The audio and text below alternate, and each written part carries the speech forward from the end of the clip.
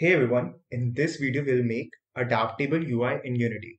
One of the main issues when working with mobile games is your UI may look perfect at one resolution but completely fall apart at another.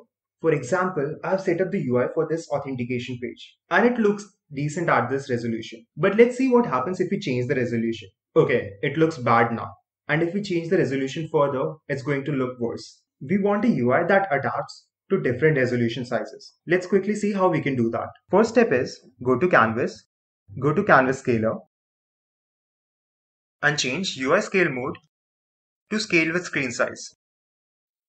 Now set the reference resolution to the resolution your UI looks perfect for.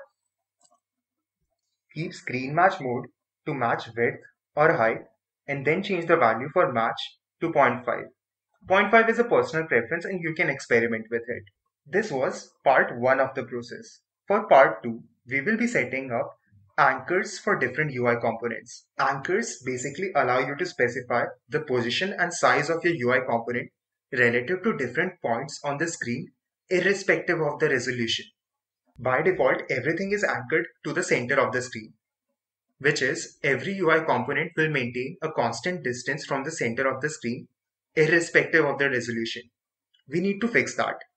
This is more of a trial and error process and not one size fits all. So try out different anchor points and see how your UI looks with them. Click on your UI component and go to inspector panel. In the rect transform, click on this. You'll see anchor presets. The rightmost and bottommost ones basically stretch your UI component according to the anchor points. So if your screen gains height, the height of your UI component will be stretched.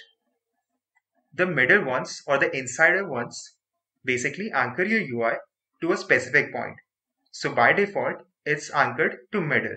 That is, it will maintain a constant distance from the middle of your screen. So let's quickly go ahead and fix the anchor points for all the UI components. And with that, we are done. We can see the results by changing the resolution. It's going to look good for most of the portrait resolutions.